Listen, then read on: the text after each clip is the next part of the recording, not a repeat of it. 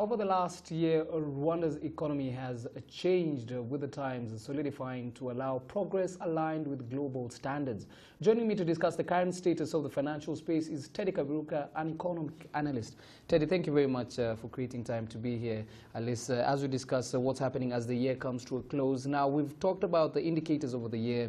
We talked about health. We talked about inequalities in the different sectors. But speak to us about where we are now and what is driving us at the moment. Uh, what we see is uh, the, different, the, uh, different uh, economic indicators are, are now on, on the good position.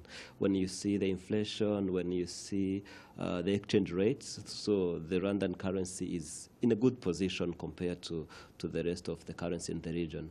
All right, now uh, we know uh, as the year comes to a close and as we go into Q1, there's a lot of, uh, everything remains quiet in terms of revenue and uh, operations, uh, but uh, the inflation at the moment is said can be handled and Yes. uh, we've spoken to the central bank governor about the same, but is this something that we should uh, tighten up on or should we look forward to it being going up in the recent uh, future? Uh, what, what we have now is, is a controllable situation, but we can still do better. There is a way to improve, uh, especially to take it down, because you know the rate is we, we, we, we would expect more than that, but we managed to control it. But if you can bring it down again, it will be better. All right. Yep. Uh, we've spoken about the stock market, the capital markets, and now we are seeing different uh, economic alternatives coming in uh, in terms of uh, unit trusts and investment trusts. Uh, give us your sense of where we are in terms of uh, wealth distribution and the inequalities at the moment. In fact, those different uh, investment options are a way of accessing capital, where uh, being the government, be the private sector can access capital to invest in dev- uh, development projects. And in those development pro- projects, uh, people will get job and the wealth will be distributed equally to different people. And there, from those investments, uh, we'll get the return on investment and the wealth will be distributed equally.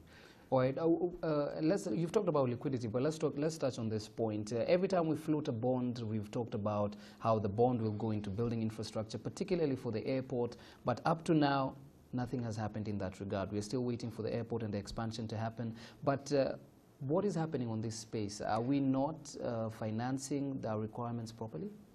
I think that being a huge investment project, and when you see Rwanda, there are so many other investments going on, and it will be very ambitious to say we can see everything starting at the same time. So I think it's a matter of priority of where do we invest now, and and what I to illustrate on that, we we saw uh, the Kigali International Airport being expanded in, instead of investing in the new uh, airport. That is the plan B in terms of investments. Because, I mean, as, as we have now, the, the, the airport is, is big enough to accommodate the, the, the, the airplane f- uh, flow now. And th- that was a, a smart decision in terms of investment. And if we can use what we have now, maybe we, we, we get more resources in the future to invest in big uh, airports. All right, uh, on a macro level, we are still expecting so much in regards to 2020 where the E EDPRS2 targets have, have uh, to be set. But uh, leading from now to then, what remains to be done? Uh, you know, the, the different sectors are clear, and, and uh, in terms of milestone, what need to be achieved by, by that time. I think the, the biggest um, sector where focus should be met, and we, we, we keep saying it, the infrastructure development, especially the energy sector, because we know energy is the engine of the economy, Yes. and we, we saw different initiatives uh, getting power from, from Ethiopia, getting power from Kenya. Those are different uh, initiatives which Even a lot of uh, hydro from and solar from within, here, yes, a different option of, of getting power. Because that's that the, the it, it's a strategic uh, investment. If if the government managed to get enough power, and then the industry will follow, the, the, the other sectors will follow. All right, uh, we want to look at things from a regional perspective or Pan-African perspective. Uh, are we now establishing Rwanda?